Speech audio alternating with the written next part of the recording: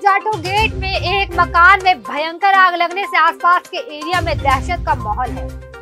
आग इतनी भयंकर थी कि मकान का लगभग सारा सामान जलकर राख हो गया। मौके पर फायर ब्रिगेड की गाड़ियों ने पहुंचकर आग बुझाने के लिए कड़ी मशक्कत बता दें, मौके पर उपस्थित लोगों ने बताया कि आग शॉर्ट सर्किट से लगने का कारण बताया जा रहा है, परंतु यह जाँच का विषय है कि फ़िलहाल इस आगजनी से किसी की जान का नुकसान नहीं।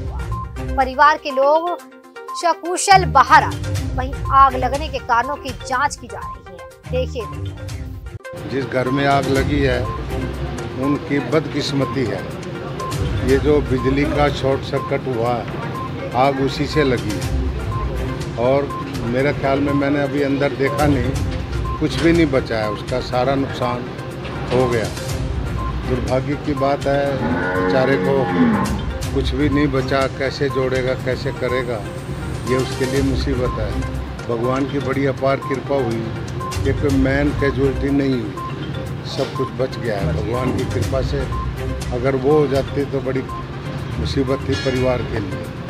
बाकी अब देखते हैं जी, असलियत क्या निकलती है अंदर, क्या हो गया, क्या नहीं हुआ, किस तरह हुआ। कदियान जी आप मौजूदा सरकार में हो। आपको लगता है जैसे जो मीटर वगैरह है ये भी नीचे लगाए होते हैं मीटर बाहर पोल पर लगाए हुए हैं मीटर में कोई प्रॉब्लम नहीं। ऊंचाई उनकी काफ़ी कम है ऊंचाई कम है ऊपर कहाँ तक लगाते हैं? जहाँ तक लगाया जा सकता है वहाँ तक लगा रखे ये कोई ड्राबैक नहीं है सरकार का। मीटर बाहर लाने का पर्पज था स्कीम थी उस स्कीम के तहत लगाए हैं। ठीक है धन्यवाद।